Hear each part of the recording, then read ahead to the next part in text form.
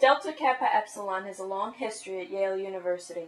The fraternity was founded at the Ivy League school in 1855 and went on to become a national Greek organization. As of fall 2010, they must wait five years before they are allowed to actively recruit new members.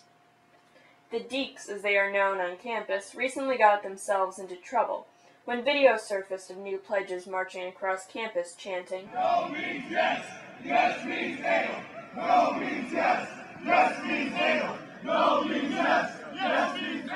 This happened by the Women's Center, in the dorms where the freshman girls were living. Mary Miller, Dean of Yale, doled out the punishment, which included restrictions on recruitment and use of the Yale name and facilities. The head of the national chapter of DKE was of the opinion that this was too harsh a punishment. His reasoning? The excuse as old as time. Boys will be boys. It's hard to believe that even in the 21st century such an excuse would still be used to condone the actions of college-aged men. It's, it's a fallback on this gender dichotomy that's a fiction um, in order to protect men um, and really protect ourselves from, from what might happen if we tried to disrupt that binary and really try to get at the root of why these issues are happening in the first place. Uh, boys actually hear that at a young age. And basically, what that is, when I hear boys will be boys, I hear like an exercise of male privilege. It's almost like a rites of passage where these men try to impress other men.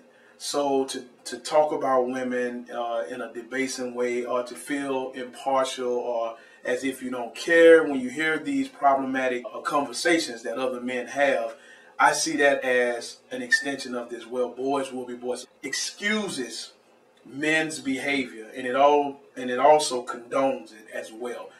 Oh, actually, I um, was reading an article uh, about that phrase, and uh, I think it's ridiculous um, and super limiting to to men and kind of insulting to men. Like the assumption that uh, it's like natural and inherent for men to be either like aggressive or um, sexual, like overly sexual or um, you know not emotional or whatever kind of the connotations are that go with that phrase. It's really limiting to kind of assume that that's like the that, that that's like normal and inherent in men we need to, to stop blaming men altogether. You know what I mean? It's not boys will be boys. It's some boys committing these things, right? Some men committing these things.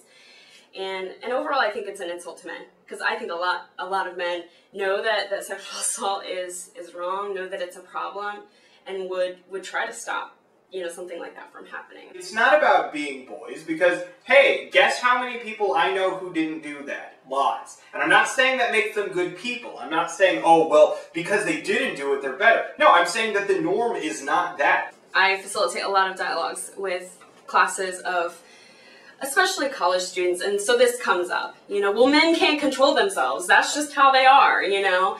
And and what i usually come back with is wow that that that's really terrible. I i really think that that's an insult toward men I think that it takes away men's agency. I think it makes men seem like they're animals, like they don't have any any individual choice, and that they're just programmed to go around and sexual, sexually assault people. I want to be mad at the the men themselves, on the other hand, I just am mad more at the culture that would make that happen.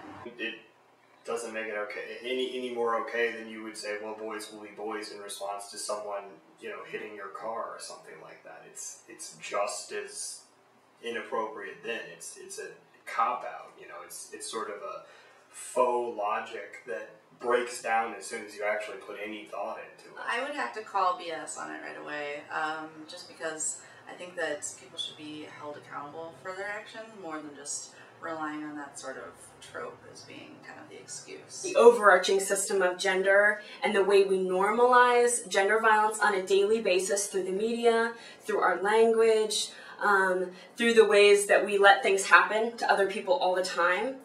Um, that we also should take the larger system into account when we're looking at these issues of violence. So, and that, and that I think helps us understand why that act might have taken place. I don't think that that takes away any responsibility. And when we say boys will be boys, uh, what it also does, it also gives men the license to stay in what we call arrested development It becomes difficult to facilitate discussions between men and women, and to create an environment where they can learn to relate to one another when this sort of trope is used to divide them further, and keep them from realizing that they don't fall so easily into the role of passive victim and violent aggressor. We talked about the rhetoric of those young men.